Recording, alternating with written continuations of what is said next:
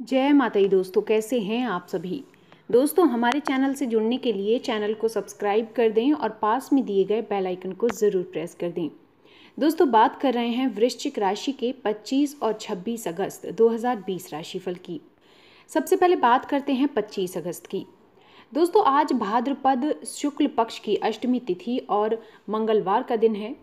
अष्टमी तिथि दस बजकर चालीस मिनट तक रहेगी। उसके बाद नवमी तिथि लग जाएगी। और आज शाम सात बजकर बत्तीस मिनट तक वैधृति योग रहेगा। और उसके बाद दोपहर एक बजकर चार मिनट से लेकर कल पूरा दिन पूरी रात रवि योग रहेगा। इसके साथ ही आज दोपहर एक बजकर अनुराधा नक्षत्र रहेगा। भाद्रपद शुक्ल पक्ष की अष्टमी तिथि से सोलह दिवसीय महालक्ष्मी व्रत शुरू हो रहे हैं और ये दस सितंबर तक रहेंगे। तो आइए जानते हैं आज का दिन आपके लिए कैसा रहेगा। दोस्तों, आज बिज़नेस पार्टनर के साथ एक ज़रूरी मीटिंग करने के बाद रात को डिनर के लिए किसी अच्छे रेस्टोरेंट में जा सकते हैं। आज किसी पुरानी बात को लेकर आप तनाव में भी रहने वाले हैं।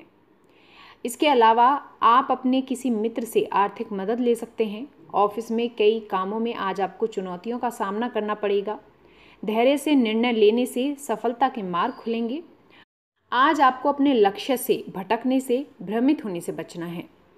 अपनों का साथ आपको सही दिशा में लेकर जाएगा। दोस्तों, अब बात करते हैं 26 अगस्त की। आज आपके सोचे हुए काम पूरे होंगे। आस पड़ोस के कुछ खास लोगों से आपकी मुलाकात हो सकती है।